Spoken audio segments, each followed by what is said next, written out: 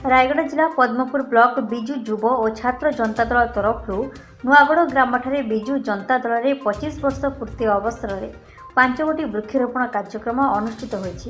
କାର୍ଯ୍ୟକ୍ରମରେ ନୂଆଗଡ଼ ପଞ୍ଚାୟତର ଯୁବ ନେତା ନେତ୍ରାନନ୍ଦ ଶବର ଦ୍ୱାରା ସଂଯୋଜନା କରାଯାଇଥିବା ବେଳେ ସମସ୍ତ ନୂଆଗଡ଼ ପଞ୍ଚାୟତର ବିଜୁ ଜନତା ଦଳ କର୍ମୀଙ୍କ ନେତୃତ୍ୱରେ ଅନୁଷ୍ଠିତ ହୋଇଥିଲା। କାର୍ଯ୍ୟକ୍ରମରେ ମୁଖ୍ୟ ଅତିଥି ଜିଲ୍ଲା ବିଜୁ ଛାତ୍ର ଜନତା ଦଳର ସଭାପତି ବିଷ୍ଣୁ ପଣ୍ଡା ଓ ଜିଲ୍ଲା ବିଜୁ ଜନତା ଦଳର ସାଧାରଣ ସମ୍ପାଦକ ଗଗନ ବିହାରୀ ଆଚାର୍ଯ୍ୟ ଯୋଗଦାନ କରି ବୃକ୍ଷରୋପଣ କାର୍ଯ୍ୟ କରିଥିଲେ।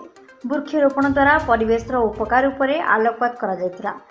ତତ୍ସହିତ ସମାଜର ପ୍ରତ୍ୟେକ ବ୍ୟକ୍ତି ବୃକ୍ଷରୋପଣ କରିବାକୁ ଅନୁରୋଧ କରିଥିଲେ ବିଜୁ ଜନତା ଦଳର ନେତା ଶ୍ରୀ ଦୁର୍ଗା ବିଜୁ ଜନତା ଦଳର ବ୍ଲକ ସଭାପତି ପ୍ରଶାନ୍ତ ଦଳାଇ। ଗୁଣୁପୁର ସନ୍ତୋଷ ପଟ୍ଟନାୟକ ରିପୋର୍ଟ ଆମ୍ ଟିଭି।